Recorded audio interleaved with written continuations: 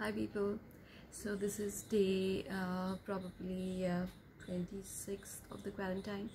Uh, I've actually lost the count of the days, but I just wanted to give you another update that I'm doing fine and um, just been busy and um, very tired. Um, I thought of getting a little bit ready today uh, just to feel uh, um, good about myself because it's been a long time since I've actually done and gone, you know, uh, practically out. I go out for utilities and other stuff, but I'm not seeing my office for such a long time. As you know that I'm an attorney and practicing in New Delhi as a patent attorney, uh, registered with the Indian Patent Office. But um, these things are not going on, you know, the way they used to go before working from home is good i just wanted to tell you this thing that working from home is okay but i definitely prefer being a legal professional to be in the office out there be um, out there interact with the client's life um, just the whole energy of uh, going to the office and uh, trying to work there is completely different from anything else in the world. So i hope this quarantine ends soon. But when the quarantine is going to end of 3rd of may we're going to be exposed to uh, myriad number of uh, other issues because definitely there's a chance that infection is going to increase after the quarantine and uh, we have to be more careful. I don't know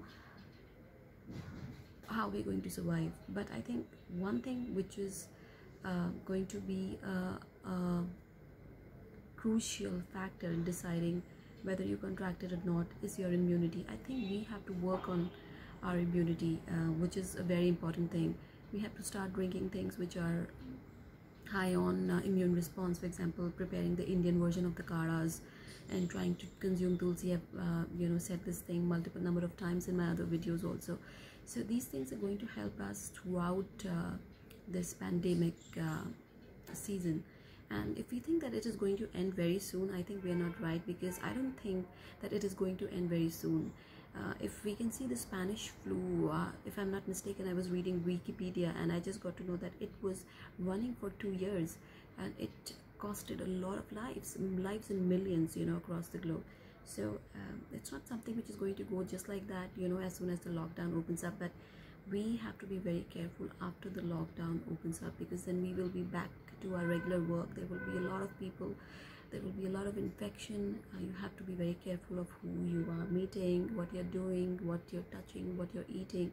So these things i think we have to mentally prepare ourselves. Although i'm not prepared but i'm going to prepare myself mentally how to deal with this situation after some time.